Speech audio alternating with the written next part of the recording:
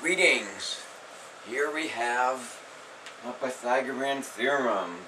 a squared plus b squared equals c squared. And with the requisites, a required triangle, the, with the a, the b, and the c, the c being the hypotenuse, and the right angle opposite that hypotenuse.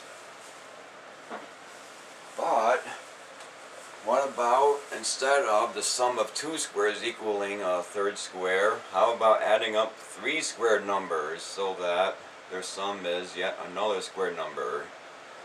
So let's uh, pick a small, easy whole number. Uh, for example, 2. Then I'm going to add 1 to it. So 2 plus 1 gives a 3 and then multiply the 2 times 3 and finally to that product of 6 add 1 alright 2 3 6 7 well I am claiming that this is true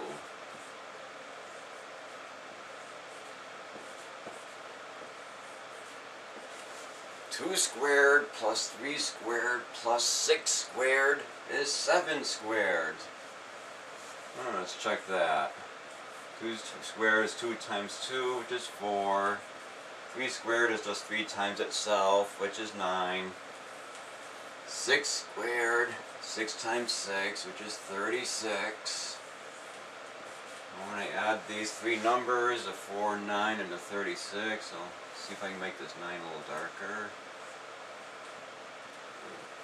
4 plus 9 plus 36, 45, 49. Yeah, looks good. 49 is indeed 7 squared. 7 times 7. And try another example. Uh, separate that. I can start with 5. And add 1.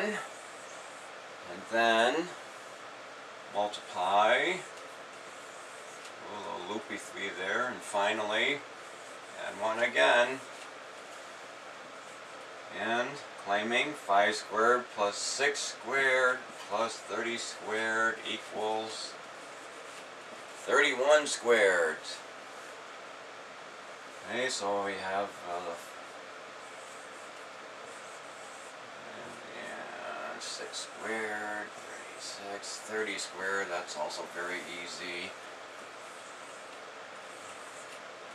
131 squared, do it on the calculator, or just add these numbers up, the result will be the same.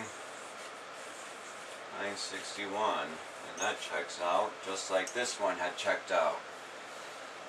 So, looks like we have a rule for building three square numbers whose sum is a fourth square number. Start with a number, add 1, multiply those two, add 1 again, put in all the little 2's, exponents. But does this always work? Can you always pick any number where you add 1 and then multiply and then add 1 again and build this sum of squares? Can it be done with decimals and fractions? Or how about irrational numbers or imaginary numbers? Well, those will be in other videos, so uh, check those out and see if that rule always works. Enjoy. Thanks for viewing.